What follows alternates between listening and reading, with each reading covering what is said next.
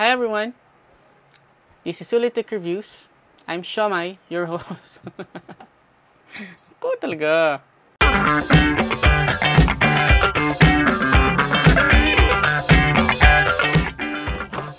Hi everyone! Welcome to Sulitic Reviews. So, nandito sa atin ngayon guys yung Mi 9 Lite at i-check lang natin kung ano yung difference nila ng Xiaomi CC9. Okay, kung hindi nyo pa guys napanood yung full unboxing review ko ng Xiaomi CC9, nandiyan yung link ngayon sa taas. Click nyo na lang, tapos balik kayo dito. Okay, bago natin pag-usapan yung specs, syempre dito muna tayo sa box, tapos unbox natin. So, makikita natin dito yung Mi logo, tapos Mi 9 Lite. Tapos sa gilid, wala naman tayo masyado makikita. Lalo na dito sa ilalim, puting-puti. Dito naman sa kabilang side, makikita natin yung Mi 9 Lite tsaka yung kulay ng Mi 9 Lite na nabili natin. So, Onyx Gray yung unbox natin ngayon. Ang variant niya ay 6GB of RAM, 128GB of internal storage. Okay? So, unbox natin. So, pagbukas natin ng box, makikita agad natin yung phone. So, Mi 9 Lite, tapos yung ilan sa mga specs niya. Meron tayong 48 megapixels na AI triple camera setup, 6.39 AMOLED Full HD Plus display, 4030 mAh na battery at Qualcomm Snapdragon 710.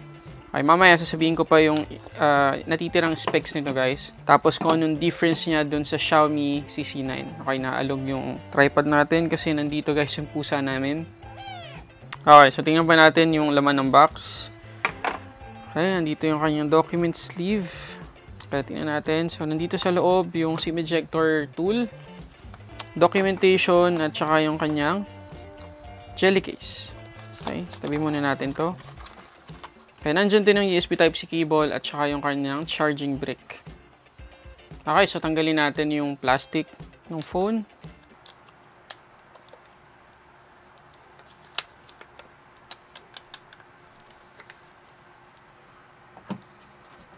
Okay, so ngayon guys, set up ko muna siya. Tapos, balikan natin. Pero habang sineset-up ko, pakita ko muna sa inyo yung full specs ng Xiaomi Mi 9 Lite. Okay, so display guys, meron siyang Super AMOLED screen, 6.39 inches 1080p display na merong 403 ppi at protected ng Corning Gorilla Glass 5. Pagdating naman sa chipset, meron siyang Snapdragon 710 10nm na merong MIUI 10 on top of Android 9.0. Yung kanyang microSD card slot ay kayang mag-handle ng up to 256GB of SD card. Pagdating sa variant, meron lang siyang dalawang variant, isang 64GB of internal storage 6GB of RAM, at 128GB of internal storage, 6GB of RAM din. Pagdating sa main camera, meron siyang 48 megapixels 1.8 aperture, 8 megapixels ultra-wide, 2 megapixels depth sensor. Sa selfie camera, meron siyang 32 megapixels 2.0 aperture. Pagdating sa fingerprint, meron siyang under display optical fingerprint scanner. At sa battery, meron siyang 4,030 mAh na battery na capable sa 18 watts fast charging. Okay, so na-set up ko na siya guys. So, eto na yon At masasabi ko talaga na wala silang pagkakaiba ng Xiaomi CC9. Pero dun sa GSM Arena guys, meron ako nakitang isa isa lang na difference nila. At yun yung maximum brightness ng CC9 tsaka ng Mi 9 Lite. Yung Mi 9 Lite ay merong 600 nits maximum brightness, samantalang yung CC9 403 nits lang. So pagdating sa outdoor use, mas maliwanag at mas makikita natin yung images at yung mga text ng Mi 9 Lite kesa sa CC9. Okay, pagdating naman guys sa MIUI, wala din silang difference. Pero meron ako nakitang ilang improvements sa MIUI o sa latest MIUI update. Wala pa tong MIUI 11, pero nasa kanya yung pinaka-latest na MIUI 10. So, na-update ko na rin siya. Tapos, dito sa display, dahil ito ay AMOLED, meron siyang dark mode. Pero I believe parang marami ring Xiaomi devices na meron dark mode kahit hindi sila naka-AMOLED screen. Tapos, meron din siyang double tap to wake which is good. Tapos, meron pa akong dalawang napansin dito na improvement. Yung isa ay yung quick replies. So, pwede tayo mag-set ng quick replies. Depende sa app na pipiliin natin. So, ewan ko kung matagal na to dati. Please comment down below guys kung matagal na talaga to sa MIUI. Pero ako ngayon ko lang siya nakita. Tapos, bukod sa quick reply, meron siyang LED light. Mako-customize mo dito yung LED light niya. So, pwede mong iset yung start tsaka end time. Kung anong oras siya sa buong araw, ma-activate. Or kung anong mga application lang yung makakagamit sa LED light niya. And yes, meron din siyang second space guys at yun yung una nating itetest ngayon bago tayo lumipat sa iba pang features ng Mi 9 Lite. At isasabay na rin natin dito yung optical fingerprint scanner. Okay, so yun yung wallpaper. Ulitin ko lang. Ito yung wallpaper guys nung main space. So, tingnan natin muna yung fingerprint. Okay. Tingnan natin isa pa. Isa pa. Mabilis naman siya. Okay naman. Okay naman. So, test natin ngayon yung second space. Ito yung wallpaper ng main space. Activate natin yung second space. Okay, may delay ng kaunti pero most likely gumagana siya. Okay, isa pa. Main space tayo. Okay. Second space. Okay, so kapag na-activate mo na siya once, mabilis naman na. Okay, so merong second space ang Mi 9 Lite. Okay, next na check natin guys ay yung Antutu benchmark niya. So test natin yan ngayon. Sa tingin nyo guys, makakailang score kaya tayo dito sa Mi 9 Lite. Check natin.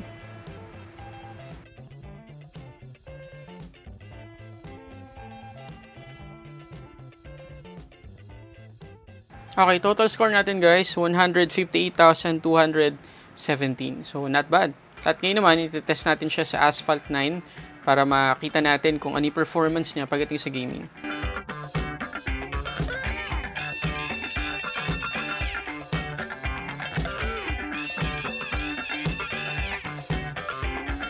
Okay, so naka-settings ako nito guys. At masasabi ko na smooth naman. Enjoyable naman yung gaming experience dito sa Mi 9 Lite overall, pa dito sa Asphalt 9. Although meron pa ilan-ilan ng mga frame drops ako na feel, pero pwede mo naman siya iset sa default settings ng Asphalt 9 para mas maging smooth yung gameplay. So overall, okay naman siya pagdating sa gaming. Kaya naman niya.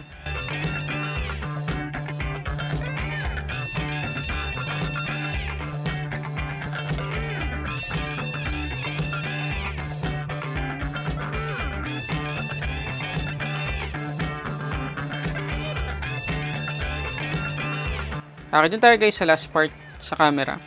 Uh, napakita ko na sa inyo ilang sample images ng CC9. Same na same lang talaga sila ng camera. Pero kumuha pa rin ako ng mga ilang images para makita ninyo yung picture quality ng 48 megapixels niya. Siya pala, yung camera application niya, same na same pa rin. Pero by default, hindi niya ginagamit yung 48 megapixels. Kailangan mong pumunta dito sa options.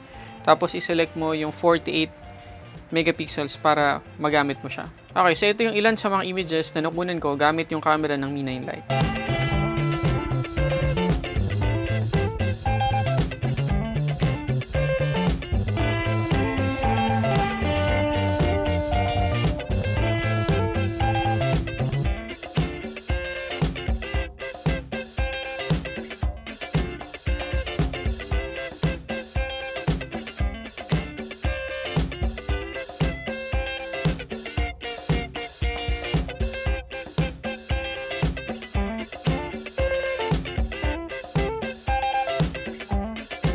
Okay, so wala tayong reklamo guys sa images. Okay na okay naman, solve naman ako sa quality. Ah, uh, yun lang, yung price. Pag-usapan natin guys, yung price. So yung kanyang 6GB of RAM, 128GB of internal storage variant ay mabibili natin sa Snowbell Gadgets and Accessories for 14,990 pesos. So, 15,000 flat guys yung presyo ng Mi 9 Lite. Baka bumaba pa yan habang lumilipas sa mga araw. Okay, yung 14,990, uh, ako opinion ko lang naman, medyo too much para sa phone na to. Kasi hindi siya 712 Snapdragon, 710 lang. Eh yung 8GB of RAM, 128GB of internal storage sa variant ng Realme 5 Pro ay 13,990 pesos lang. At take note, 48 megapixels na rin yun, Sony IMX586 plus Snapdragon 712 at mas malaki yung battery nun kesa dito. Well, di naman masyado kasi 4035 yun, ito 4030 so parang pantay lang din.